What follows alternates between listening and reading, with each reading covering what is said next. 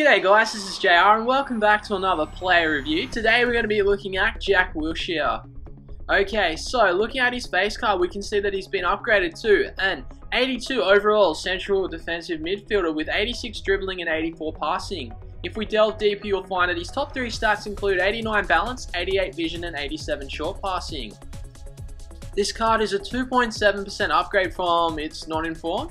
If we compare this card to other players in the BPL, you'll find that he has the 5th highest total stats for any midfielder with the 4th best vision and the 5th best passing. He has both medium attacking and medium defensive work rates. He has 3-star skill moves and a 3-star weak foot.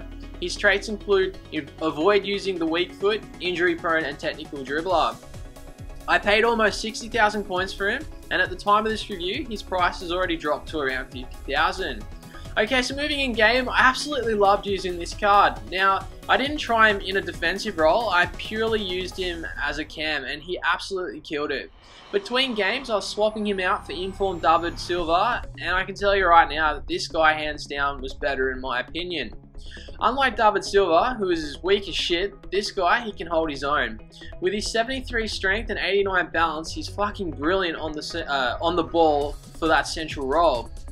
He only has 3-star skills, but apart from that, he's amazing. He has both 86 ball control and dribbling, which allows for some great control as you work your way forward, and with his 87 short passing allows for some really nice assists. Now, don't be put off by his 70 shooting. Somehow this guy was getting on the end of some really good attacking plays and slotting the ball past the keeper. His in-game stats says his finishing is only 65, however due to his awesome attacking positioning, he would pop up in the right place at the right time, scoring more goals than I thought he would have. The next part I really enjoyed about this card was his passing. He was absolutely sensational at picking out my teammates and getting the ball to their feet. Like I said before, due to his sensational balance, strength and dribbling, he could hold up the play in the midfield and wait while my attackers made those all-important runs or made their way into position. With his high vision, he also has some extremely potent through balls and using pacey strikers made it pretty easy to get behind my opponent's lines. The last part about this card I enjoyed was his defensive attributes. Now, they're not the highest, but for a player playing in the cam position, it allowed me to put plenty of pressure on my opponents in their own half. Unlike David Silva, who would tumble over in the wind, this guy won plenty of tackles and felt like he was, um, yeah, it felt like I had a second CDM. It was absolutely awesome. So there you have it, Inform Wilshere.